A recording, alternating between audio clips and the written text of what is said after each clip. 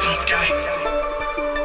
It's time you grow the fuck up. I, mean, I admit, I'm a bad piece of work, but that guy, that piece of shit, no boundaries, no sense of when to back off, no nothing. 24-7 insanity, day in, day out, all the time, all the time.